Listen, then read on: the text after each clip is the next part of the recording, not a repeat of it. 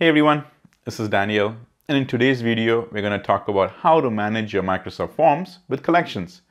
Now, the Forms collections is a new feature that was announced towards the end of last month, and I'm seeing it starting to show up on everybody's tenant, which is why I thought I'll build this video and walk you through it.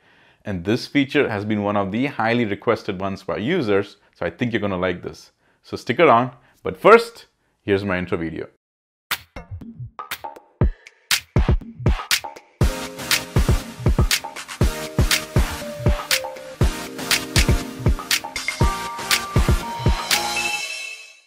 So let's get started. Now, September 27th of 2021, which is about three weeks ago, the announcement was made on the Microsoft Tech community, and that's where it is. It's about the Forms collections. So now that you know it was announced, let's go and see how it actually works.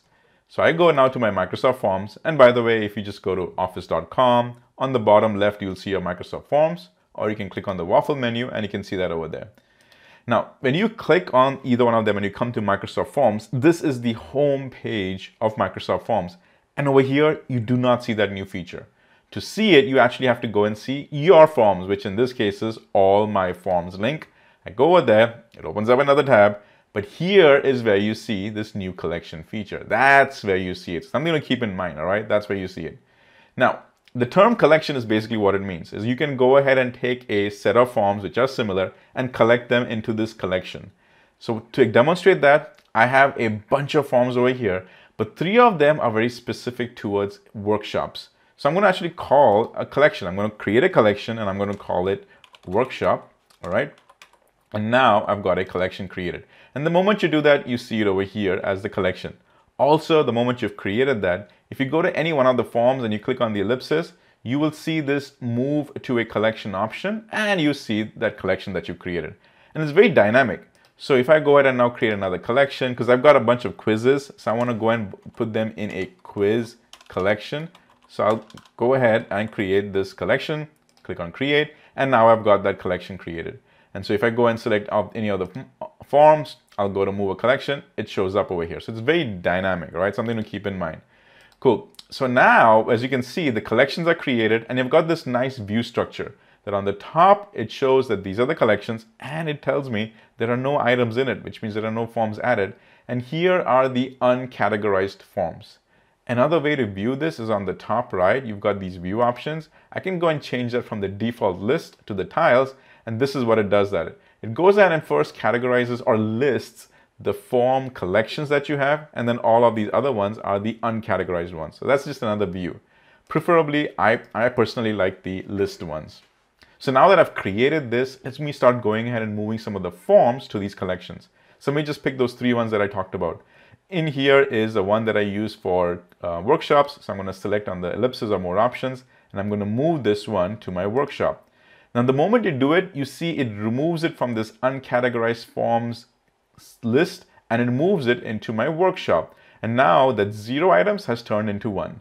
In fact, there was a little thing on the top over there which will go and show you what that is. Is I'll go and actually say this one, I'm going to move that to workshops. And the moment I do it, it tells me the form has moved and that gives me the name of the form and it tells me where I can go and click on it. So it's a little nice message which only stays there for a minute or so and then it disappears or you can also click on that X. But that's the key thing is that it has gone ahead and moved from this one group and placed it over here and it gives you a running count of how many items or forms that you have in this collection. So for the quiz one, I'll go and go an example. I have this as a quiz. This form is actually a quiz. I'll go and move that now to a quiz. And there you go. Now here's a next very important tip that you need to know about this feature. If you were to come to this collection, and if you come to this collection and say, hey, I want to delete it. If you go ahead and delete it, it will give you this message and a very important message that you need to be aware of. It says, once you delete this collection, all forms within it will also be deleted. So it's, you know, it's, it's a helpful thing that if you've got unwanted forms, instead of deleting them one by one, you just dump it into this one collection and delete the whole collection. Maybe a faster way to delete it, but keep in mind that the forms in that collection will also get deleted. Now, the good thing is that, hey, if you for some reason completely ignored this and you went ahead and deleted it, it is also available in the recycle bin. So I can come to the recycle bin and I see it's available over here. I can go ahead to the options and I can say, I want to restore it. And when I restore it, it shows up right away where we left it, right there, all right? So that's pretty neat. Also, the functionality is there to go ahead and copy it. So when I copy it, it immediately goes ahead and creates not just the collection, but it goes ahead and copies all the forms in it as well. So it's a pretty neat functionality, which I like because it's helping you to obviously collect things and group them together, but you can also do big tasks such as copying and deleting in that same group. A very easy way to do it faster. Now, the last thing I want to talk about is that this ability of creating collections is something tied only at a user level. What that means is that right over here, I have this one account. This account has come in and gone ahead and created all these collections for the own user's flexibility and needs, however it is. But now if I log in as another user in the same tenant, I've logged in as the same user, that user doesn't see those forms. So this is actually a really important piece to note. And it's also a good segue to move into the FAQ section because right in this article, there was actually some important, three important FAQs that I want to talk about. FAQ stand for frequently asked questions.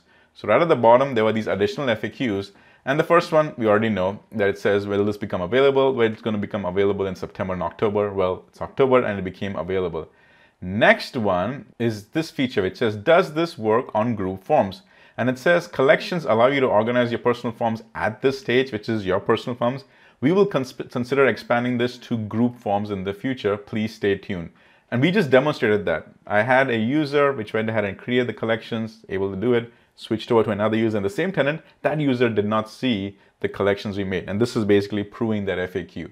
And then the last question was, you know, no collections, the schemes cannot be downloadable or exportable. Basically, you cannot download or export those collections. They are basically there for that one reason.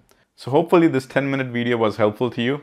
I personally am very excited about the forms collections because it just helps you to compartmentalize all your forms into categories, which just keep things neat and tidy. So hopefully this was helpful. And as always, keep using Microsoft Forms. Thank you so much for watching my YouTube video. Remember, this is all free with fresh content that is updated on a weekly basis. So if you've already subscribed to my channel, thank you and spread the word. If you haven't already, subscribe, click on the bell notification, and let the learning begin.